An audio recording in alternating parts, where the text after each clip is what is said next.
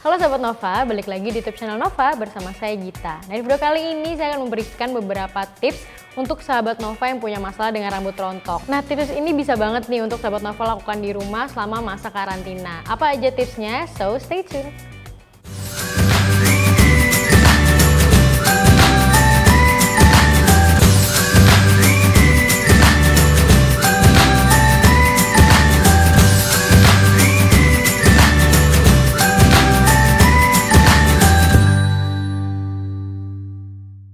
Nah permasalahan rambut rontok ini banyak banget pastinya dihadapi atau dialami oleh sahabat Nova karena sebenarnya rambut rontok ini banyak banget penyebabnya juga jadi nggak cuma karena gen bisa juga karena stres atau karena pola makan juga dan banyak hal lainnya yang dapat mempengaruhi rambut sahabat Nova sampai bisa rontok nih. Nah buat sahabat Nova yang ngerasa kayaknya rontoknya udah mulai uh, terlalu banyak atau terlalu berlebihan dalam sehari itu kayak bisa banyak banget atau mungkin sampai ratusan helai itu mungkin udah bisa uh, langsung aja ke dokter kulit atau mungkin bisa langsung konsultasi ke klinik-klinik yang uh, punya ahli untuk uh, mengatasi masalah rambut rontok. Nah hal pertama yang sebenarnya sangat basic dilakukan oleh sahabat Nova nih biasanya yang punya permasalahan rambut rontok adalah diusahakan untuk keramas menggunakan shampoo yang khusus untuk rambut rontok. Nah ini udah banyak banget di sekitar kita kalau misalnya di supermarket, cari-cari di drugstore juga udah banyak banget banyak ada tulisannya di setiap brand khusus untuk rambut rontok. Nah, sahabat Nova tinggal pilih yang itu. Jadi uh, kenapa harus pilih yang khusus rambut rontok? Karena bedanya adalah dengan shampoo yang pada umumnya yang misalnya untuk rambut halus atau untuk rambut berkilau. Nah khusus untuk rambut rontok ini uh, formula shampoo-nya lebih lembut. Jadi diformulasikan khusus untuk kulit kepala kita agar bisa lebih kuat lagi untuk menahan rambut agar tidak rontok.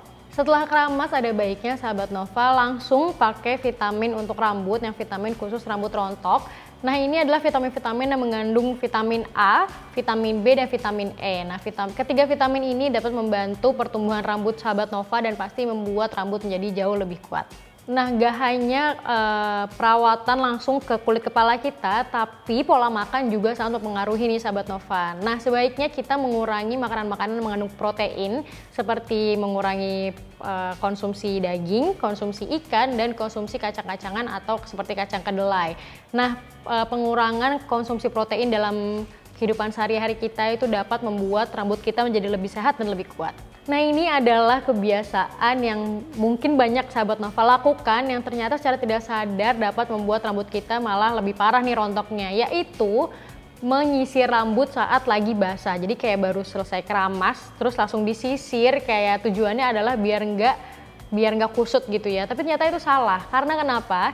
Karena rambut kita ini pada saat basah itu dia uh, adalah kondisi di saat rambut sedang lemah-lemahnya. Jadi dia baru dikeramas itu dia lagi sangat bersih, lagi sangat lembut, lagi sangat lemah. Lalu kalau misalnya kita brush atau kita sisir saat itu juga, itu malah akan uh, menambah potensi dia untuk menjadi semakin rontok. Selain vitamin, penggunaan hair tonic untuk uh, mengurangi rambut rontok juga sangat disarankan. Nah, kalau misalnya saya sendiri, saya sendiri ini juga ada masalah dengan rambut rontok.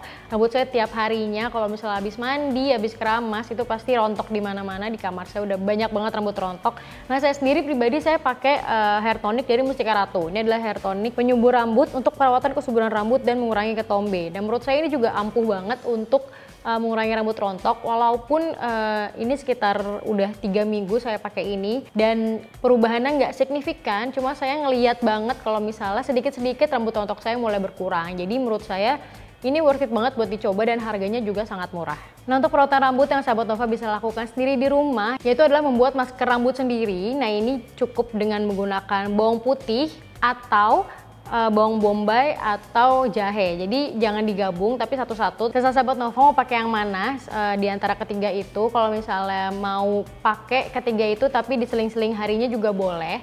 Jadi sahabat Nova tinggal uh, blender atau jadi sahabat Nova tinggal blender uh, bawang putih atau bawang bombay atau jahe. Lalu setelah di blender sahabat Nova bisa uh, saring. Jadi diambil airnya aja nih, diambil jusnya aja Lalu sahabat Nova langsung aja apply ke kulit kepala dan juga ke rambut sahabat Nova dan didiamkan semalaman. Jadi sahabat Nova bisa pakai hair cap aja nih, bisa pakai hair cap lalu sembari tidur didiamin aja dan kebesokannya langsung aja dicuci dan dikeramas seperti biasa. Nah, kalau misalnya rutin ini bisa membantu mengurangi kerontokan rambut sahabat Nova.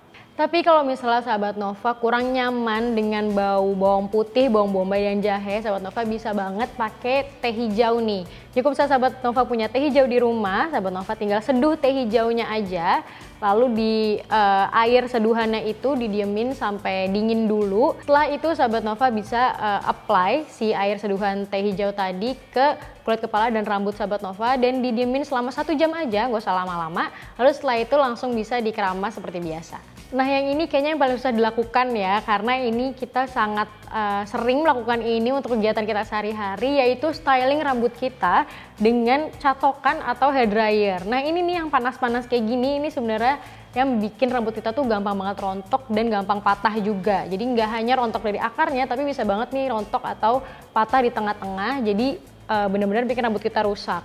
Nah tapi udah banyak juga sih uh, brand-brand uh, hair care yang menawarkan kayak misalnya uh, hair protection sebelum catokan. Jadi seakan-akan mereka bisa melindungi rambut kita sebelum mencatok. Tapi ini belum ada researchnya juga. Mungkin mereka bisa uh, membuat rambut kita lebih lembut saat dicatok karena biasanya kalau rambut kita habis dicatok tuh karena rambut kita kering jadi kelihatannya rambutnya bener-bener acak-acakan gitu ya kayak kelihatan banget kering habis dicatok. Nah biasanya produk-produk ini hanya untuk melembutkan rambut saat setelah dicatok. Jadi dia tidak bisa melindungi rambut sepenuhnya dari kerontokan karena karena panas catokan atau hair dryer.